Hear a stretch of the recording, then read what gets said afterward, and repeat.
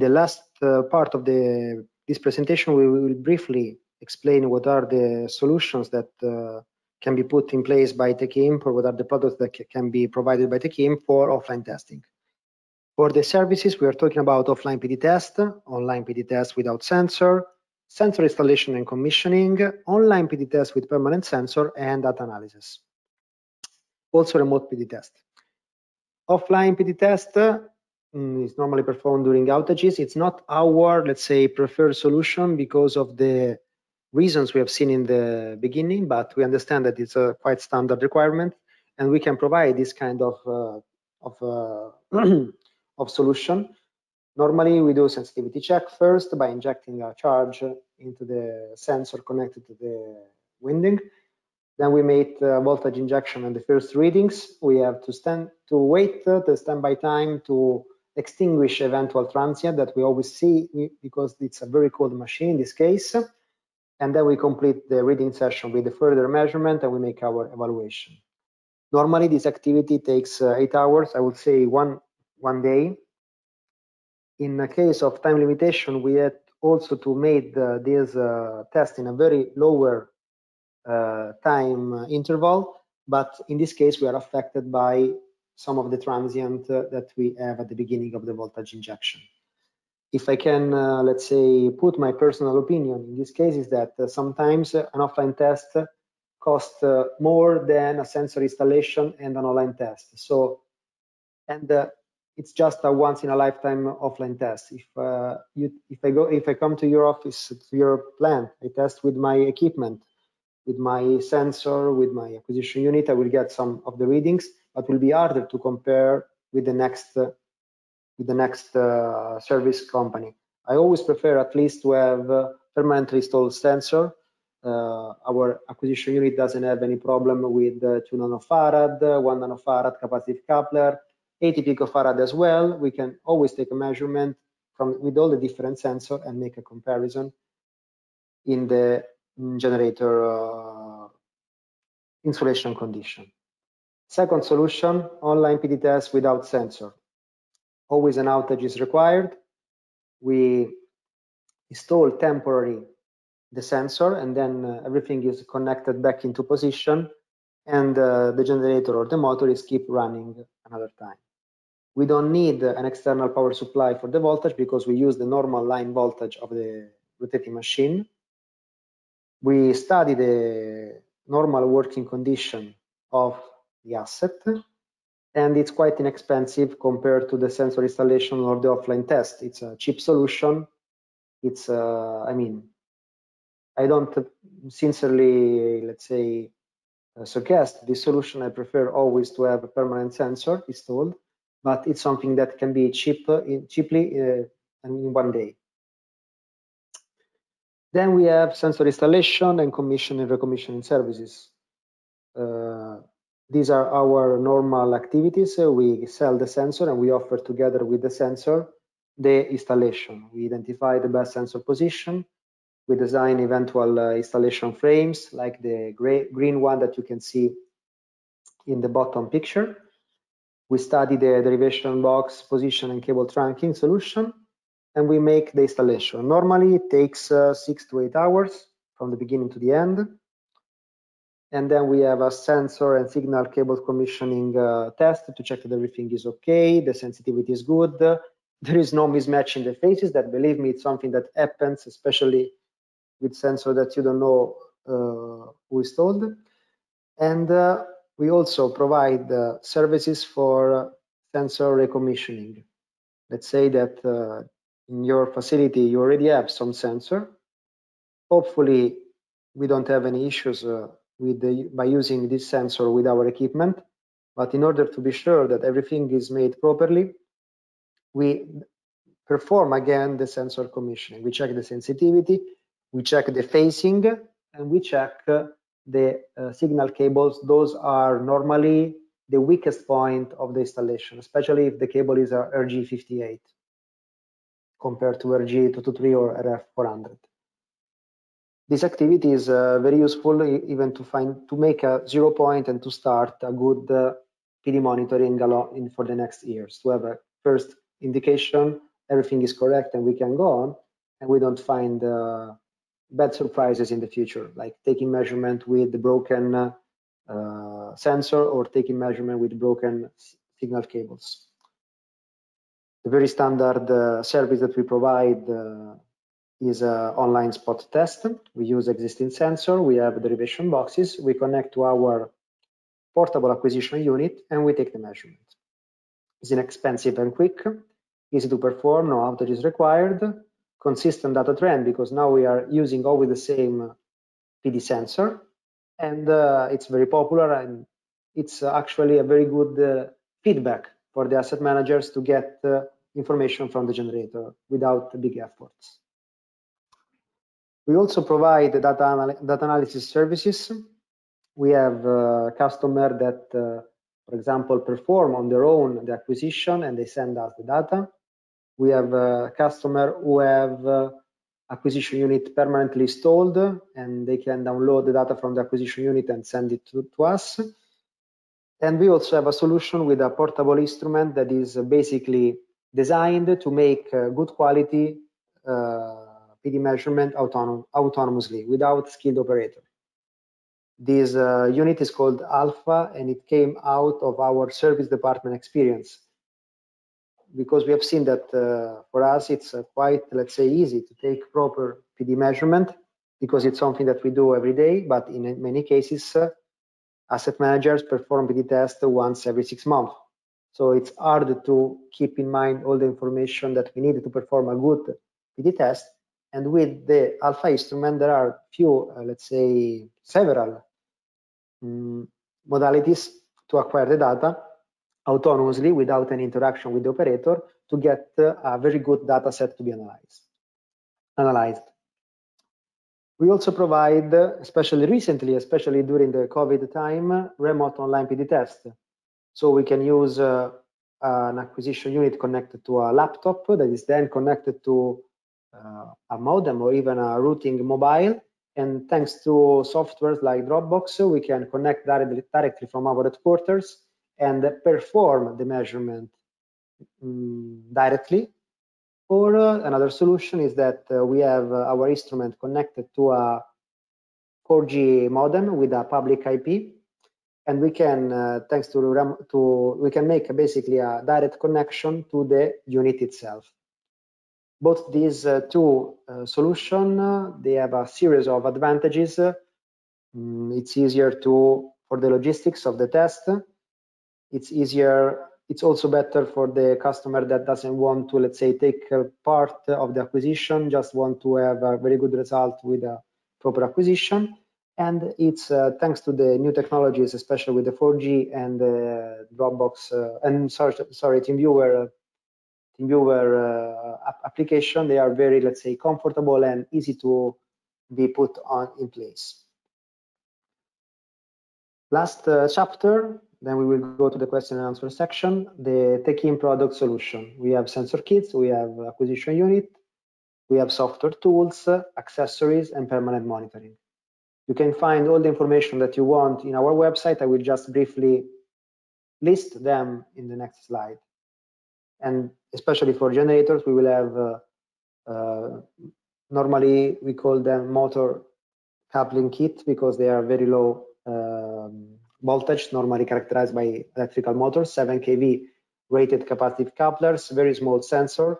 We can sell them normally in three-phase kit. They come with uh, everything uh, necessary for the installation, so high voltage connection to the bus bar and uh, uh coaxial cable connection for the permanent installation, and the derivation box in the end.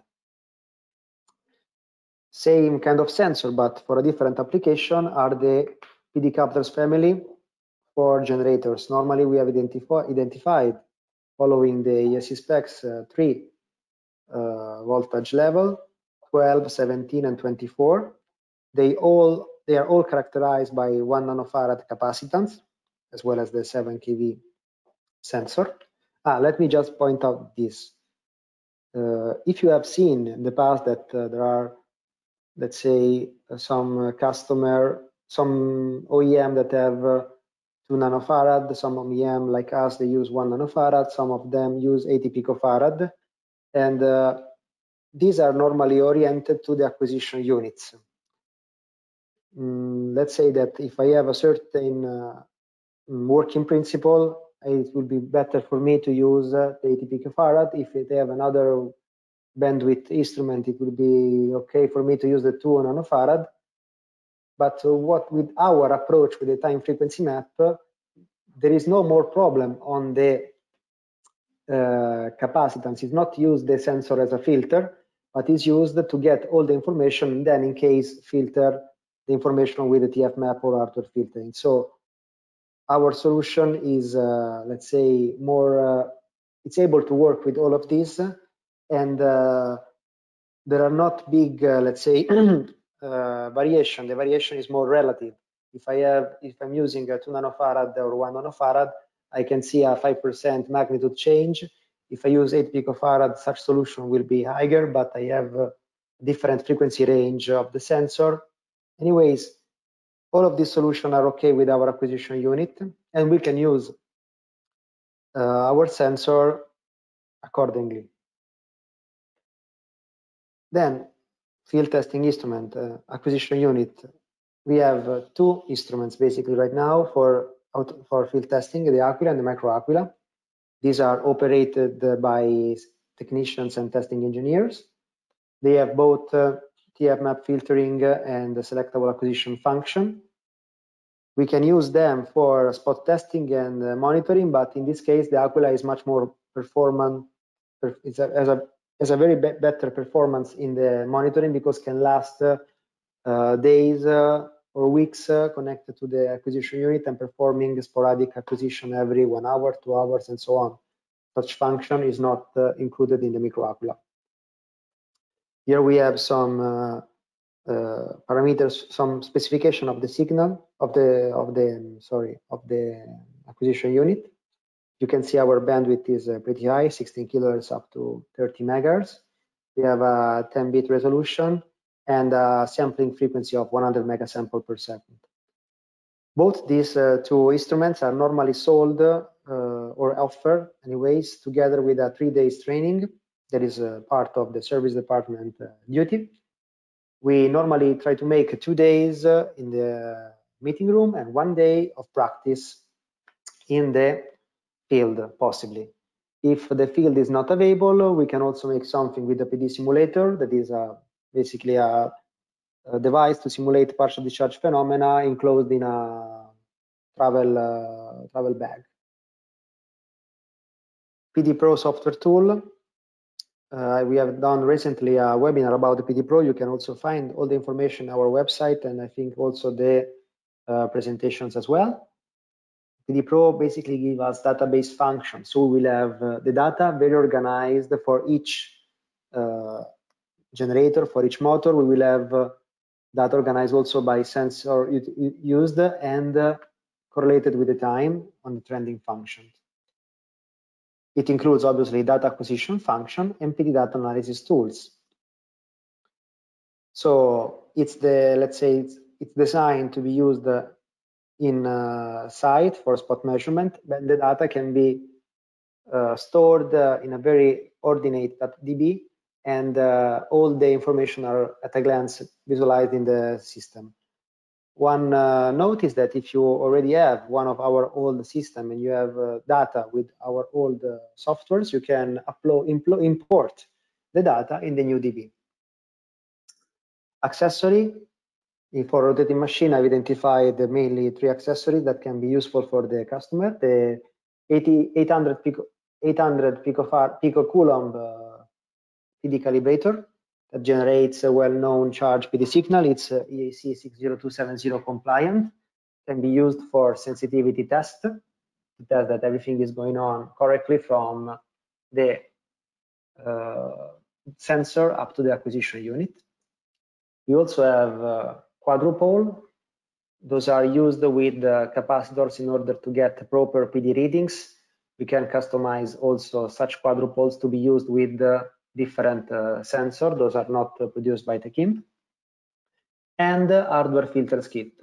Especially rotating machines, such hardware filters kit are very useful. They can, let's say, give us, a, they can solve the problems for us of uh, filtering uh, noise in a very easy and uh, efficient way. Uh, testing solution, then uh, the alpha, the one I was explaining to you. There, are, it's a design from this, let's say, from together with a service to get to, to give the chance to an, ex an expert and not skilled operators to make a very good PD measurement. Basically, there is a session of the software that uh, asks to the user the info about the test layout, are there uh, accessible uh, derivation box, you know the, the brand of the sensor, and in case of different brands, we have different configuration already set into the instrument. Gives instruction how to connect the uh, instrument to the sensor. In like in the picture that you can see here this is part of the software. Once we have uh, collected all the information the instrument uh, gives the instruction how to connect the test. Then uh, uh, there is a acquisition data session. It takes a while obviously because uh, it's not acquiring just one acquisition but a series of acquisition with the um, customized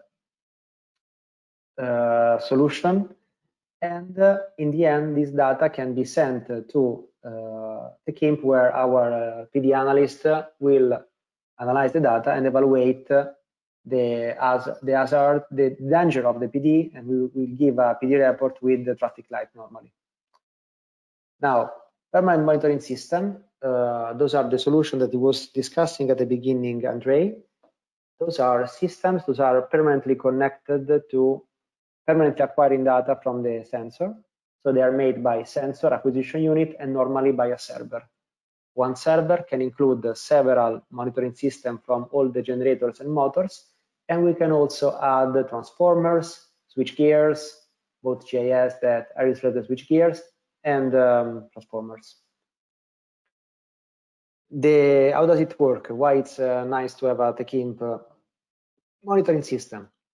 Basically, we don't we just we don't just take the data but we have put the same idea the same philosophy of data analysis also in the monitoring system we have the analog sig signal coming from the sensor pd analog signal then uh, the the signal enters the acquisition unit in the acquisition unit there is already the uh, tf map filtering capabilities and we can filter out some of the signal that is uh, unwanted.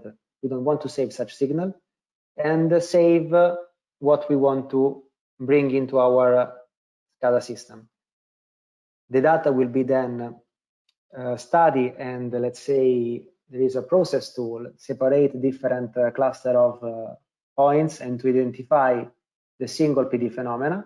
We provide the single PD phenomena in series and each one of these PD phenomena can provide an individual alarm phenomena this is the idea. Obviously, it's a very, let's say, just in one slide, it's not so clear, but this is just to share to you what is the, the philosophy beyond our permanent monitoring system.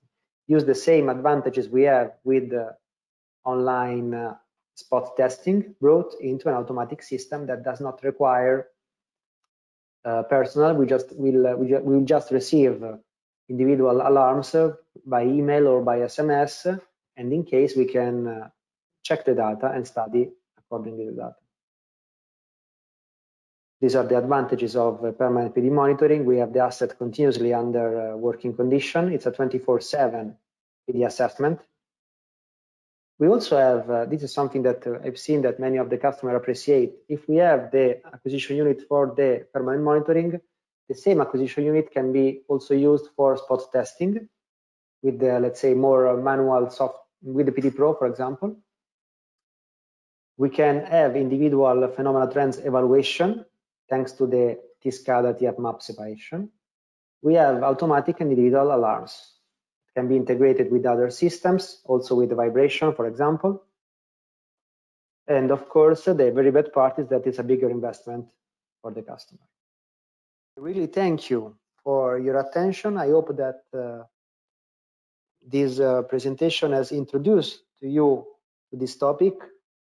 At least uh, we have fixed some arguments, maybe some uh, information. that can be useful for you to, uh, let's say, going deeper into the PD test of generators and motors. Thank you. Goodbye.